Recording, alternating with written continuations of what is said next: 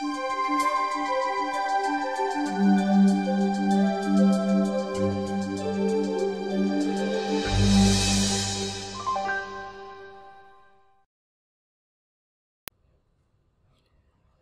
and welcome one more time to Ultrasound Quick Lectures by RNA Blue Zone World. My name is Alain Fernandez and today I'm going to talk about dynamic range.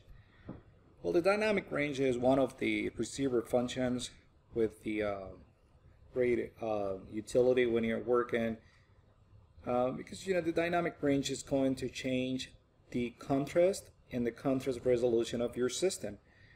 Like, for example, when you're working doing vascular, you prefer more contrast, which is basically saying more um, black and white, which is not the real term.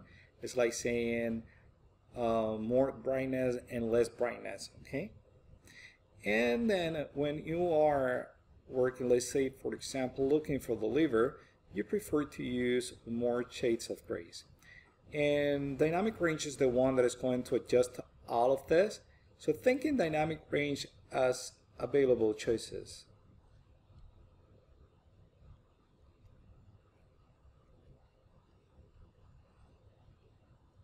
Right? Thinking available choices.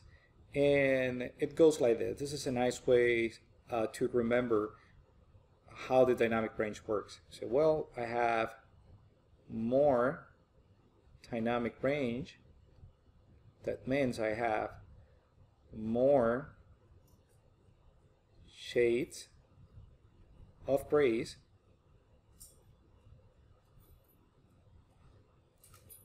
that means I have more contrast resolution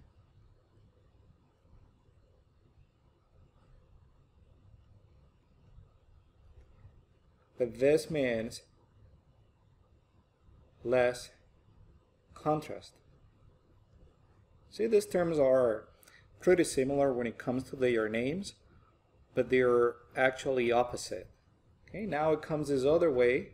So, well, if dynamic range goes low, then I have, therefore I have less available choices. It's like saying, well, I have less shades of grays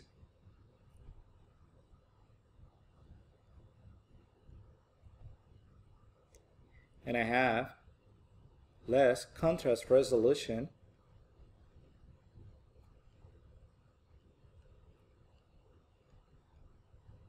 and then I have more contrast. Okay, the first case, this one here, number one, it will be more suitable when you're working in the liver because you want more shades of grays, okay? But the second case in here, this one, it will be more suitable when you're working in vascular because you want more contrast between the intima and interior of the vessel in case you're looking for any lesion, for any plaque. Now I'm going to move to my machine, to my screen in here, and I'm going to show you these two cases in a real life example, okay? So you guys can understand this very well.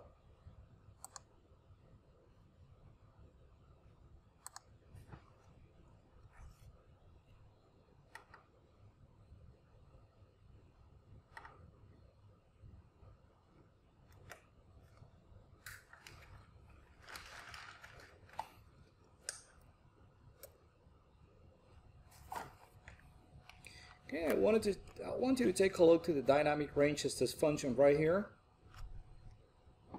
And I'm going to take a picture right now with a very low dynamic range.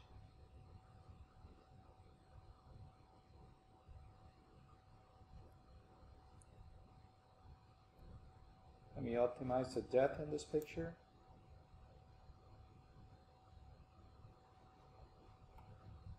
Alright, now my dynamic range is going to go down. What do I expect? I expect less shades of grays, less contrast resolution, but more contrast. And this is what is going to happen right now. Take a look to what it says dynamic range. It's going down, it's going down, it's going down. There we go. I have more contrast right now, but less contrast resolution. That's what's going on. I'm going to compare doing uh, two screens in here. Okay, this one is low contrast resolution, high contrast, and this one here, I will adjust it for you. I will increase the dynamic range. What do I expect? I expect here more shades of grays, more contrast resolution, and less contrast. See how the dynamic range is going up? All right, now compare the two pictures in here. So right here we have a high contrast with low contrast resolution. Right here we have high contrast resolution with low contrast. And that was it for today. Thank you and stay connected. We're going to have more uh, quick lectures like this one. Thank you.